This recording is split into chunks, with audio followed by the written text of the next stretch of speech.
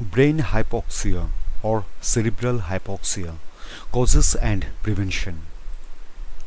Brain hypoxia is a form of hypoxia or oxygen deficiency affecting the brain. It occurs when the brain does not receive enough oxygen even though blood is still flowing. When oxygen supply is totally cut off, it is called brain anoxia. Brain hypoxia is a medical emergency because the brain needs a constant supply of oxygen and nutrients to function properly. There are several causes of brain hypoxia. They include drowning, suffocating, cardiac arrest, and stroke.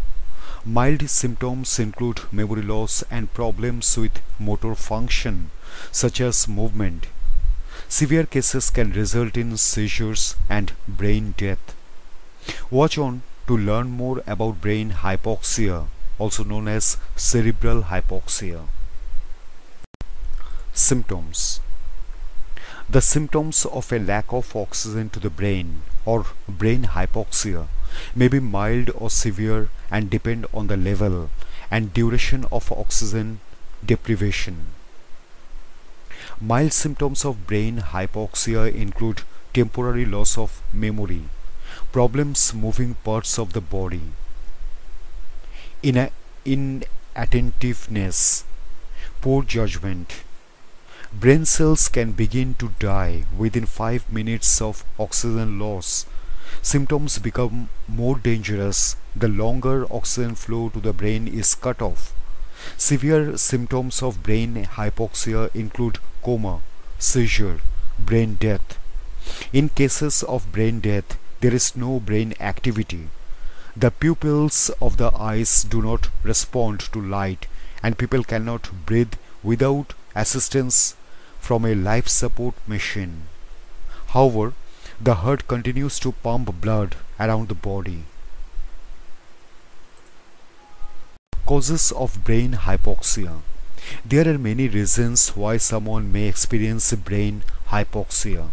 Some medical conditions and situations that reduce oxygen supply to the brain include amyotrophic lateral sclerosis or ALS and other diseases that paralyze the breathing muscles, brain injury, carbon monoxide poisoning, cardiac arrest, choking, complications arising from anesthesia, drowning, drug overdose, high altitudes, irregular heartbeat, lung diseases such as chronic obstructive pulmonary disease or COPD, lung infections including pneumonia, respiratory arrest, severe asthma attack, smoke inhalation for example in a house fire,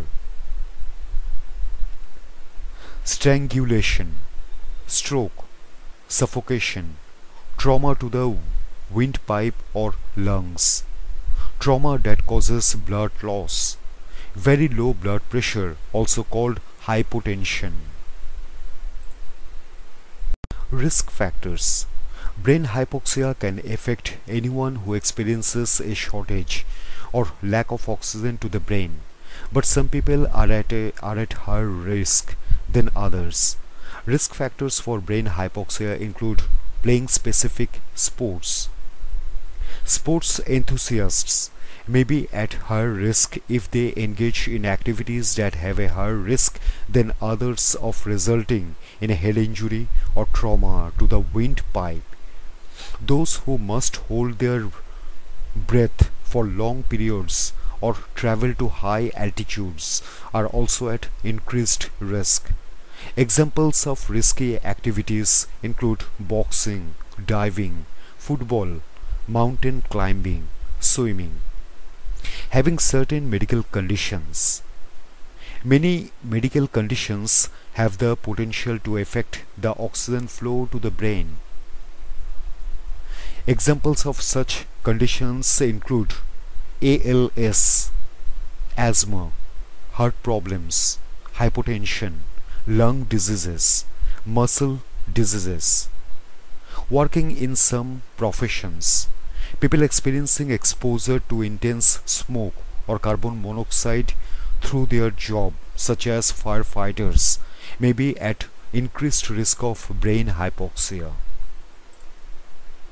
Diagnosis A doctor will usually diagnose brain hypoxia based on a person's medical history, a physical examination, and other tests.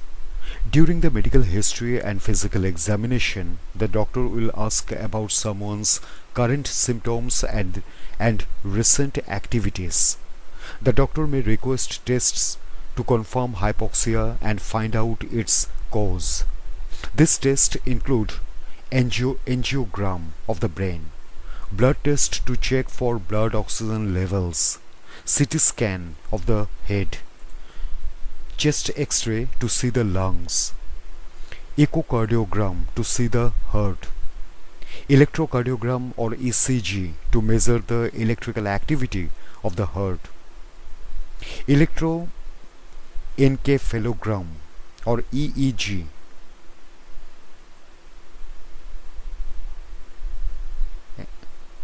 to measure the brain's electrical activity and understand the cause of seizures. MRI imaging scan of the head. Prevention It can be challenging to avoid all cases of brain hypoxia. For example, it is difficult to prevent a brain injury received during an unexpected car collision. To have the best chance of preventing hypoxia, people should monitor health conditions and avoid high altitudes. People should wear proper protective equipment such as helmets when playing sports with high risk of head injury. If a person receives cardiopulmonary resuscitation or CPR after a fire or head injury, they may be less likely to experience brain hypoxia or, or for it to be less severe. CPR can save lives, especially if carried out immediately. Brain hypoxia is a medical emergency. If someone displays the symptoms of brain hypoxia of or if they are losing consciousness, call the emergency services without delay. People have their best chance of recovery if they receive medical treatment right away. Prompt medical attention reduces the amount of time that oxygen flow to the brain is limited.